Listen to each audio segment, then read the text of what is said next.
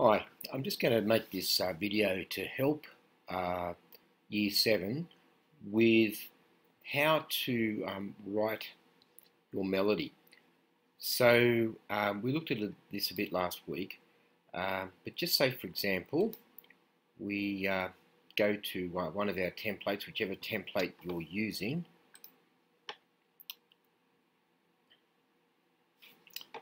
Okay, so we've got our blank score here. See what I did last week? Okay, great. Um, and I have said already that we um, will start writing our melody. Okay, just forget your words at the moment uh, because with Mr. Harb you're going to look at putting your um, words with a rhythm. Okay, and that rhythm will transfer into your um, melody here. Okay, so let's just use crotchets here in our melody and worry about making the rhythm sort of fit the words a bit later. Okay, so um, as I said to you last week, we've got these chords here and we look at these notes. Now you can work out what these notes are from your lines and spaces. C, E, G, and I suggested last week that we use start with that top note. Okay, I'll just turn that up a bit so you can hear it a bit better. And this is just writing a melody. Okay, don't worry about your words for the moment. Let's just work out how we might write a. And I'm going to go down to that note there. Okay. Um, and we can actually, you know, change some rhythms. Okay, and we can use some a few other notes other than are in this chord. Okay, so that's an example of uh, starting on one of the notes in the chord. All right, and you can make little variations. I often get asked the question. Um, I'm just going to do that again. I often get asked the question, how do I join these notes together? All right. Okay, what we've got there is a crotchet that's worth one beat.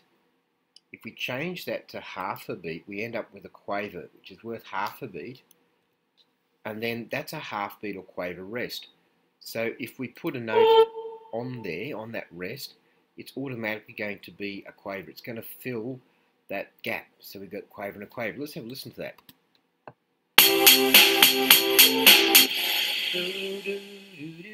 Okay. Oh, that's a nice little motif I've composed there, okay? And it fits the chord progression. And I'm going to use the top note of that chord.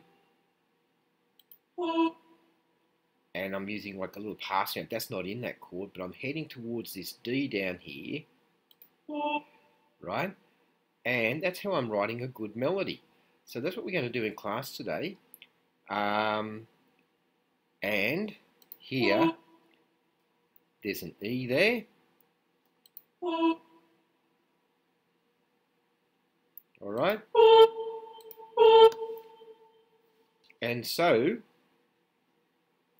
oh, hang on. No, that's not going to be great because if I stay up on that note, that's in that chord there. Righto. And I'm going to show you a nice little trick. I can go down to the F, okay, or better still, make that a passing note, down to the F, and, okay, so there I end up with a four bar melody.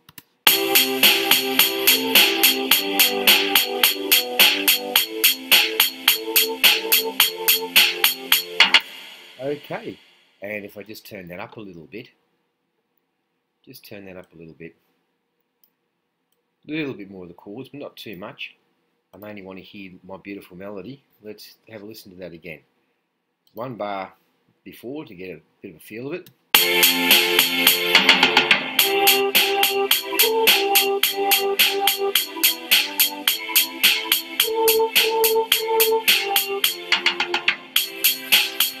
Okay, so now here's a nice little trick.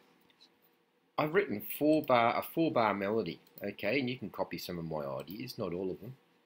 Um, and then if I click on that bar there, the first bar of the melody, hold my shift key and click on that bar, Command C, because the chord progression repeats, it's the same. And that's okay in songs to write a nice little short melody that's really catchy.